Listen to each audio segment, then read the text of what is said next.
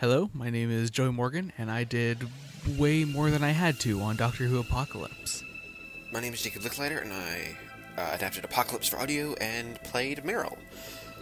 Uh, adapting Apocalypse was perhaps was perhaps one of the more difficult ones to adapt. Um, partially because one, it's a very short novel, uh, and two, it has a lot of fan service. There's, if you've listened to it already, you'll know that it features a cameo, a, some big a cameo from the Second Doctor, and that was already way scaled back from the original book, which had him appear almost every other chapter, um, almost without, almost in, always in flashback form. Um, so essentially, I one of the big, big, big challenges was to cut that down to what was just necessary, um, because I just think fan service can be excessive, uh, especially if it's fan service like that, where the Doctor just appears. Hello, my name is Averi Clark, or the Most Unsociable, and I played the Grand Matriarch in Doctor Who Timewyrm Apocalypse. This was such a neat project. From Joey and Jacob doing a phenomenal job taking it from book to script to audio drama, to the amazingly talented cast of Whovians who spent so much time, put so much heart into the characters they portrayed, it has been a freaking awesome experience. I have loved getting to play a villain, and the Grand Matriarch has been one of my favorites so far. Hello, my name is Brian Corrigan, and in Doctor Who Apocalypse, I play Fetch and Kraz. The casting for this story was a bit weird because it. I guess Joey doubled up on actors f- from his uh, Exodus audition. So basically, your the Exodus audition was also an undercover apocalypse audition process, which is fine, I guess. But you know, uh, so when he when he came to me and told me that that was the case, I was like, oh, all right, because I'm heavily involved with these anyway.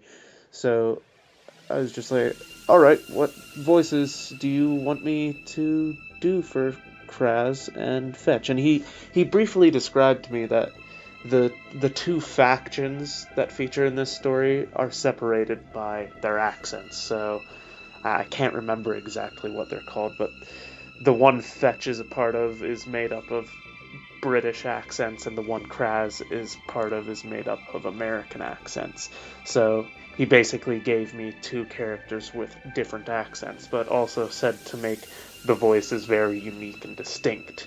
So he wanted something kind of Gollumish for Fetch, and I he didn't really give me anything to go off of for Kraz, so I tried to come up with my own interpretation of what I thought he sounded like. But Fetch was a was a hard one because he when he said Gollumish, that had me worried because I've tried to do Andy Serkis impressions before and I failed, so I decided, well, rather than do a straight up impression of Andy Serkis, why don't I try and do that, but also put my own little spin on it?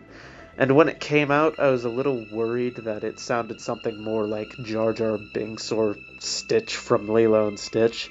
But, uh, yeah, I, I, found, I found Fetch's voice really annoying, and I was pretty damn sure that Joey would not want it, but he really liked it. In fact, uh, while he was editing the story, he he actually he actually sent me a message saying that he wanted to cuddle me as fetch, which is okay then. Hi, I'm Mark, credited as Corey Williams, and I voiced the character of Huldah in the Apocalypse adaptation.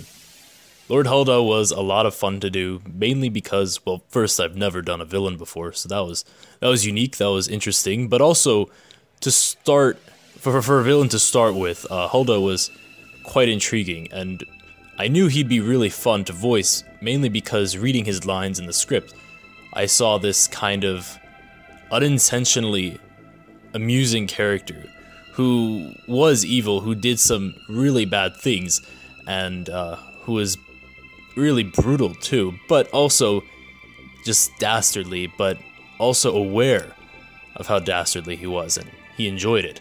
So I tried my best to really uh, bring that to life in the in the uh, adaptation, and really, um, I had a lot of fun doing it. Especially the scene where he goes all shouty, and I think that's actually like the last you see of him in the audio. So I thought that was a, a fitting end to an over the top dramatic character who I really enjoyed playing. So um, thanks again to Joey uh, for putting this whole thing together. It's really fantastic, and uh, thanks for letting me be a part of it again. Um, it was it was interesting uh, doing this one as it was a different sort of cast to put together. Um, we didn't do an open casting call for it, and um, and that's because it's a really short story. You know, we knew that we were going to adapt it into a really short story because first off, the book isn't that long, um, and Tower Apocalypse as a story isn't the best, so we didn't want to you know make it a long story. We didn't want it to overstay its welcome, as it were. Um, so I think uh, I think making it a shorter story was a wise decision, and thus we didn't want to waste time with a full casting call. Um, however, we do still have some newcomers to this uh, this story. We had a few people that um that auditioned for Exodus, and we were like, well, Exodus doesn't, doesn't have that many female roles because that's where all of our new people come from. Um, Exodus, Exodus doesn't have that many female roles, so would you like to be in this story instead? So that's where our newcomers come from, and they're all fantastic. Um, loved hearing their voices; they were all great. Um, so, so in addition to this being a, a totally precast story, um, we had we had a great opportunity through the Exodus casting call to get some new people in on it, and that was really fun. Also, it's just as a story, it's oddly traditional for Doctor Who. It's, it's almost like a mix of the original Dalek story and the Krotons. Um, I mean, the Krotons make sense because it is sort of Nigel Robinson does really like the Second Doctor, and there's always a lot of Second Doctor references in his books. Um, but yeah, and adapting it, it, just, it was a, really just a matter of what to cut.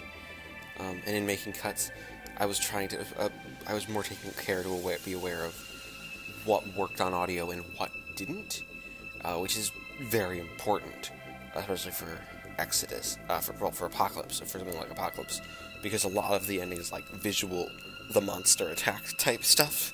Um, so we really tried to work on trying to make it work better for audio. Um, Miril as a character is very interesting. He, he's very much a the sort of old man who wants to see knowledge prevail and um, but is stuck in a world where basically knowledge is controlled. He's basically in an authoritarian, totalitarian system, um, and he's sort of near the top. Uh, but it's like sort of genuinely cloaked in like, um, like in that sort of utopia idea. Um, again, a very standard Doctor Who trope and a very standard science fiction trope that the utopia is actually a dystopia underneath um, but yeah, he and the Doctor really have a lot of good moments where they just sort of work together, and Miril tries to figure is genuinely intelligent and trying to figure stuff out. So you know, it's it's a very fun character to play, um, and really provides kind of a backbone. When I was first cast in her role, I had no idea who she was, so I had to go back and do some research. Which I later discovered that she, in fact, had had a previous encounter with the Doctor before Apocalypse. During one of the second Doctor adventures, the second Doctor loses track of Polly and, while looking for her, stumbles across this young Panjistri girl who points out where she went.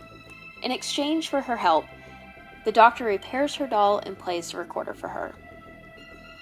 And it's just shortly after this that the Timewyrm invades the Doctor's timeline and possesses young Lilith. The Timewyrm possessed young girl grows up to be the Grand Matriarch, ruler of the Panjistri, which is a six fingered humanoid alien race who inhabit the um, planet of Kandasi. It is there that the Timewyrm bides her time and waits for the Doctor to reappear. When voicing this character, I very much took into account the backstory and uh, the Timewyrm herself, which is voiced by Anna Price, and the way that she does it is so neat. Is that uh, she makes the character's voice, everything she says drips with evil. Like there is no good intent with anything she says. So, with that, I took this leader who the Timewyrm had already been through a goddess, Hitler, and now this alien ruler. And so uh, the Grand Matriarch was very confident. She was very sure of her scheme against the Doctor and very much thought she had the upper hand. With this, she I imagined her to have a very cool and calm demeanor in that she knew that whatever she did, the Doctor could not win this time. I don't know, she was just a very fun character to play. A very interesting villain, and that where she came from was was very interesting. Uh, but anyways, this has been a fantastic experience. I've loved working with these people. I hope you enjoyed Doctor Who Timewyrm Apocalypse. Uh, and with that, laugh hard, run fast, be kind. Uh, as for Kraz, Kraz was another interesting character, but not in the same way as Fetch. Because Kra- Kraz's voice took less thought to come up with. Basically, I have this very distinct character archetype in my head of what the tough guy should sound like, and it's, it's you if the, it's a really tough guy, which I think Kraz is. That's how I interpreted his character. It should sound something like Andrew Lincoln's Rick Grimes from The Walking Dead.